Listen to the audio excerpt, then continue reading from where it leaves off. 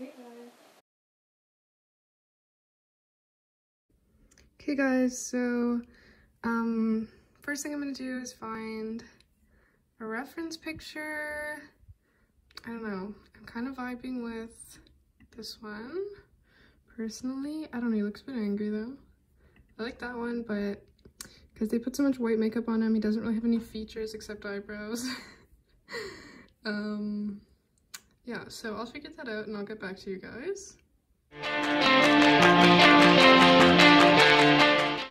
So this one is appealing to me. Personally, I like the expression. Um, and we all know boys look better in hoodies than any other item of clothing. So it's a really iconic and special look for him. Um, oh, this one is actually probably his best look, not gonna lie. Oh yeah, maybe that. So you're worried.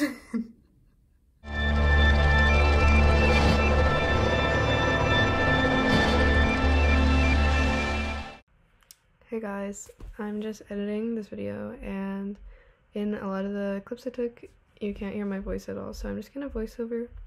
And that's why my mouth is moving, but there are no words coming out, so enjoy. Okay, so I'm just showing you Edward there, and here I'm gonna get my reference picture, which I didn't show you before, but it's classic from the baseball scene and I'm using um, the House of Commons transcript from Lloyd Longfield for my palette. So let's see what we're doing. Okay, we're getting blue because Edward is blue because he's a corpse. Technically, he's quite bluish, I would say. And now I'm getting a darker blue just because he's got all those hollows. He's really He's really shaded. Getting some silver because you know he sparkles in the sun. His picture's not in the sun, but uh, that's okay, It doesn't matter. He's still sparkly, just to allude to that. And what am I oh, I'm thinking? And I'm getting some red because he's got those delicious lips. Um, kissing Bella. um, because most guys have a really green beard, green or blue. Um, Edwards is looking green because that's the filter, I think, but I'm really trying to, I'm trying to capture that filter because it's a part of Twilight. It really is.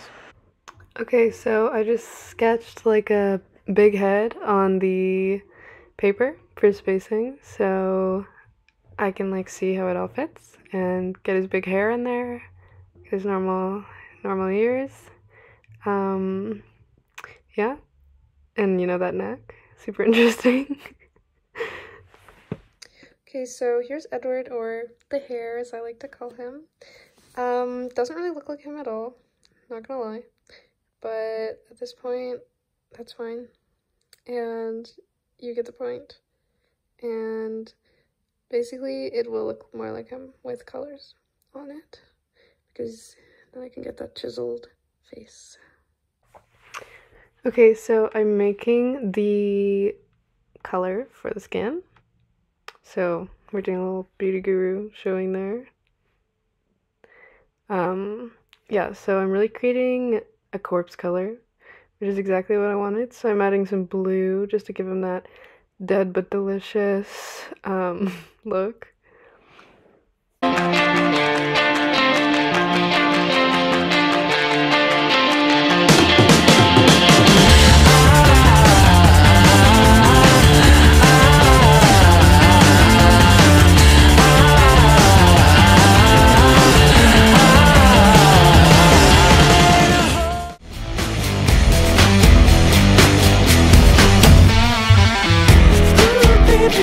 you are so full of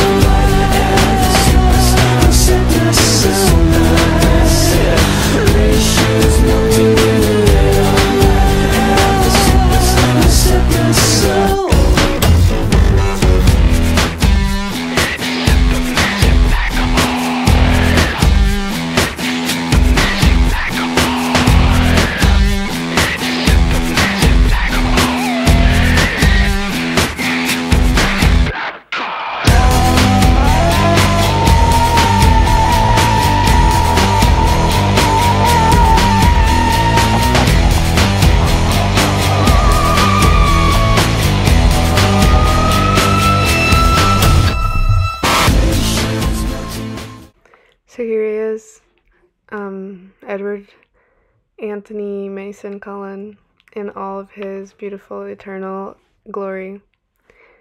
Um, so it's not that good. Honestly, it's probably the worst painting I've ever done, but I really enjoyed painting it. And the vibe of it is spectacular. I can't describe, like, you guys can't feel it, but it's giving off such an aura right now. Edward, you're just making me so nervous. Like, what's wrong with me? I don't really understand why you're ignoring me or why you're not talking to me. Like, it just makes me really uncomfortable, honestly. Like, and I just don't get it. Is it, are you mad at me? Like, I just don't know what to say, Edward. It's just super not nice of you, and I find it really impolite. And I thought that you would be a guy that knows how to treat a woman, but clearly I was very wrong. Um, Edward, um, can I borrow that pencil that's on your desk? Whoa, your hands are ice cold. I, I don't. Are you okay? What's what's wrong? Like, why are they so cold, dude? That seems really inhuman. Bella, I was eating ice for lunch. okay. I didn't want to tell you, but that's what I was doing. I was just eating handfuls of ice, and my hands haven't had time to warm up again, okay? It's not. They're just cold. Anyways, ice is my favorite snack, and. Uh, so if you're gonna judge me for being an ice eater, then maybe I don't. Maybe I don't want to talk to you at all. So yeah, that was um, wild. I don't even know what I said in the original video, but I hope you enjoyed my take on Twilight. Um, anyways, so there's Edward sitting there. You know he's definitely going up at the cottage. I can't imagine a universe where he wouldn't be at the cottage. And um, I just want to say, like, okay, I don't know where I've gone, but I do just want to say that it really helps with the cottage threshold because when someone comes in the door, um, and if they complain about Edward there, like they m- might as well not even bother taking their shoes off, you know? Because, yeah, if you got a problem with Edward, then you got a problem with me, really, and all of us, I think it's safe to say. Um, and Edward will bless that house, and he'll keep us safe and keep our families and children and husbands safe. And yeah, peace out, guys. Catch ya later.